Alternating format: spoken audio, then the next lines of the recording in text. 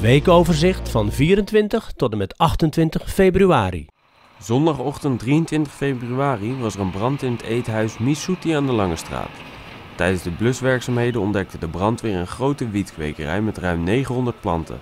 De brand is ontstaan door kortsluiting. Een 38-jarige verdachte is aangehouden. Enkele bewoners moesten in verband met de rook tijdelijk hun woning verlaten. Voor de wegwedstrijd tijdens de Cityrun op 6 april is er een nieuw afstandscertificaat nodig in verband met internationale erkenning van de gelopen tijden. Zondag 23 februari in de vroege ochtend werd er door een official van de Atletiek Unie een nieuwe meting gedaan. Hier verderop is een, een traject van 500 meter. Dat wordt, uh, aan de voorkant uh, wordt dat een paar keer gemeten. En dan ga je het parcours op. En ja, dat is het officiële meetapparatuur waar, ja, waar deze meneer en de overige delegeerden van de Atletiek Unie mee werken. Nou, we hebben om te beginnen eerst net aan de buitenrand van Hilversum een, een eikbasis gemeten. Eikbasis is een exact ingemeten lengte en gemarkeerde lengte. Die is ooit door de, waarschijnlijk door de landmetkundige dienst van de gemeente daar neergezet. Dat dient als basis voor de, het eiken van het, het mechanische tellertje. Nou, met, gebaseerd op die basis hebben we dus het parcours gemeten. Het aantal tellertikken hebben we daar bepaald. En dat hebben we dus omgerekend op basis van die eikbasis.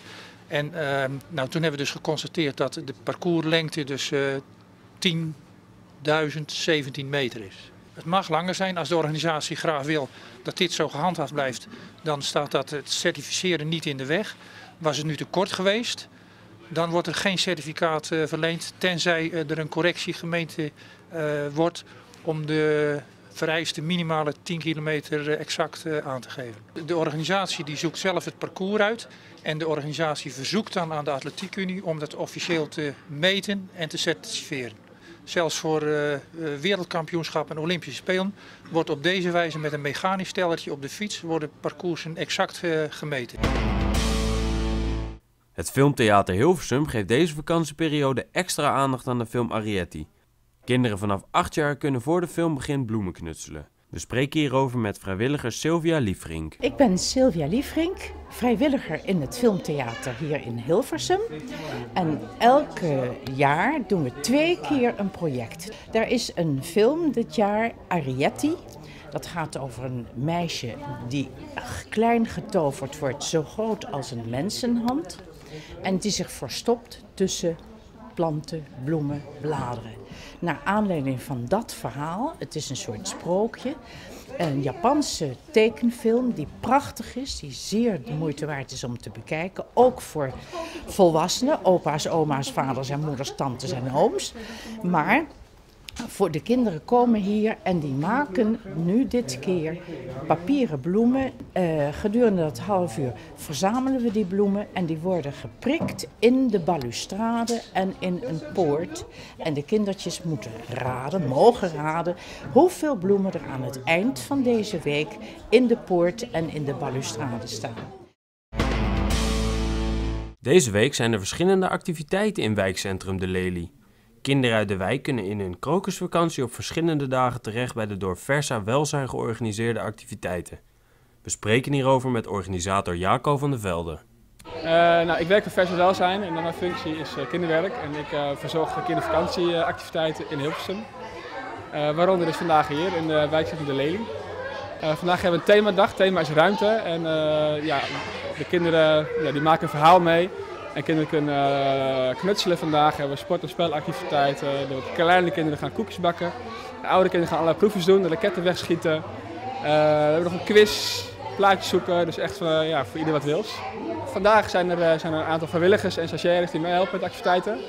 Dus zonder hun kunnen we natuurlijk niet draaien, deze activiteiten. Dus nou ja, alle vrijwilligers zijn altijd welkom. We hebben een, een dagthema en dat doen we dan op drie verschillende wijkcentra in Hilversum. Uh, afgelopen maandag waren we in de wijkcentrum Sint-Jozef. En morgen zijn we nog te vinden in uh, wijkcentrum Lopes Dias. En uh, dan is het weer klaar voor deze week.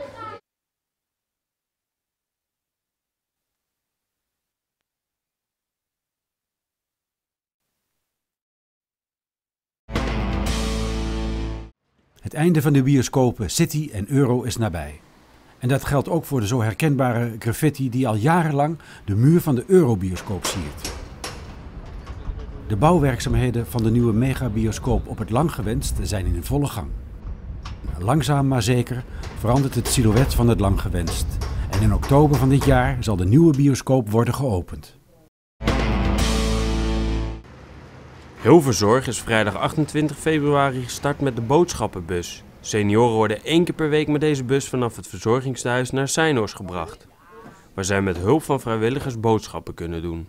Ja, het is een geweldig initiatief waar heel veel zorg eh, aan mag meewerken. Want uh, een van de grootste supermarkten in Hilversum heeft busjes ter beschikking gesteld voor het vervoer van ouderen uit de wijken naar uh, een supermarkt in de Seinstraat, Seinhorst. En dat is een hartstikke leuk winkelcentrum. En dat geeft mensen dus ook de mogelijkheid om langer zichzelf te blijven, om gezamenlijk wellicht in een andere omgeving. Uh, contact en gezelligheid. Ja, geweldig initiatief zijn we als Hilverzorg ontzettend blij mee. We doen het vanaf vier locaties. En uh, voor een proefperiode voor drie maanden. Het is gratis, er zitten geen kosten aan. En als het nou allemaal goed gaat en mensen zijn enthousiast, dan hopen we in samenwerking met deze supermarkt na drie maanden het positief te kunnen evalueren en misschien wel uitbreiden, ook naar andere opstappunten in de wijk. Want uiteindelijk is het niet alleen voor ouderen, maar is het eigenlijk voor mensen die wellicht wat moeilijk ter been zijn en zeggen: Goh, als dat opstappunt nou wat dichter bij mijn huis is, dan kan ik dus instappen en op een andere plek uh, boodschappen doen. En wat ik ook ontzettend leuk vind, is dat we het in samenwerking doen met de Gooise Praktijkschool. Uh, de jonge lui die gaan helpen om aan de andere kant bij Seinhorst om de mensen uit de busjes te helpen. Dus het is een combinatie van allerlei dingetjes. En eigenlijk dat we met elkaar inzetten op het feit dat mensen zo lang mogelijk zelfstandig kunnen blijven wonen. Contact en gezelligheid. En weet je, iedereen wil toch zo lang mogelijk ook zichzelf blijven.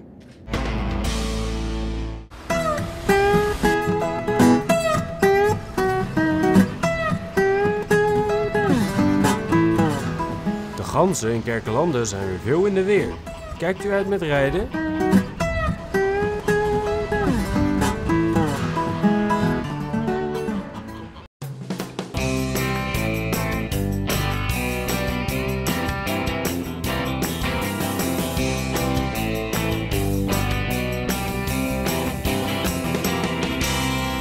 Ik ben bij het dierenasiel Krailo. En ja hoor, u raadt het al. Ik ben in het kattenhuis.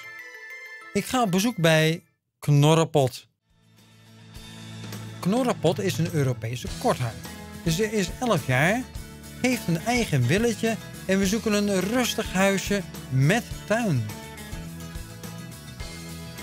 Knorrepot is een beetje een uh, knorrepot. Is soms onvoorspelbaar en wil dan nog wel eens bijten of krabben. Toch houdt ze van knuffelen en aandacht, maar alleen als ze er zin in heeft. Omgaan met kinderen, dat gaat niet. Maar alleen zijn gaat uitstekend. En ze wil ook graag van tijd tot tijd naar buiten. Nu ligt ze er lekker bij. Heeft u een rustig huisje met tuin? Dan is Knorrenpot de poes voor u. En haal haar op bij Dierenasiel Kruilo.